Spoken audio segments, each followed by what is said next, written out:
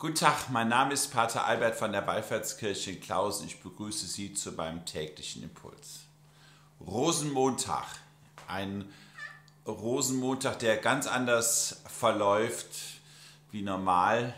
Also würden die Zeiten normal sein, dann wäre ich heute nicht in Klausen und ich würde mich vielleicht vom Zugweg bei Ihnen melden.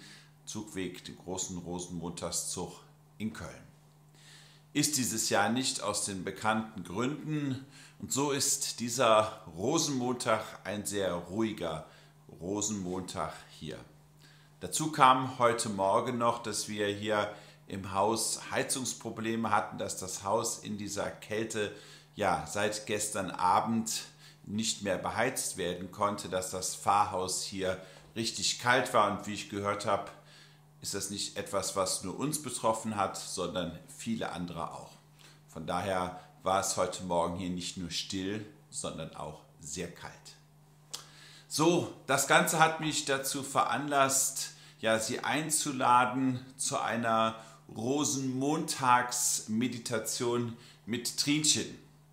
Sie liegt hier auf dem Aquarium, sie wärmt sich und ja, in der Betrachtung von Trinchen kommen uns vielleicht ganz andere Rosenmontagsgedanken.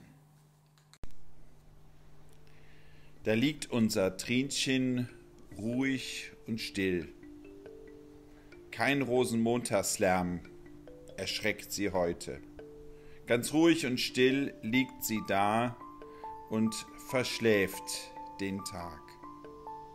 Ruhig und still, wie schön, gelassen und entspannt. Gechillt, würden junge Menschen heute sagen. Unaufgeregt und einfach so daliegend. Vielleicht ist das eine Haltung, die auch uns an diesem Tag erfüllen kann. Mal kein Tamtam, -Tam, kein Helau oder Alaf, keine Kamelle, kein Bützche, keine Strüße oder was wir auch immer mit diesem Tag verbinden. Stattdessen Ruhe und Entspannung. Entspannen wir uns, seien wir gelassen und stärken wir uns für das, was noch kommen mag. Ja, Rosenmontags Gedanken der anderen Art. Wie immer lade ich Sie ein, mit mir am Ende das Vaterunser zu beten.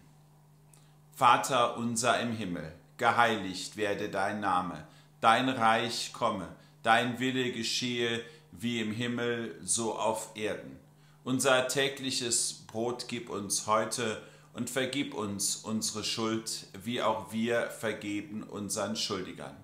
Und führe uns nicht in Versuchung, sondern erlöse uns von dem Bösen. Denn dein ist das Reich und die Kraft und die Herrlichkeit, in Ewigkeit. Amen. Und so segne euch der allmächtige Gott, der Vater und der Sohn und der Heilige Geist.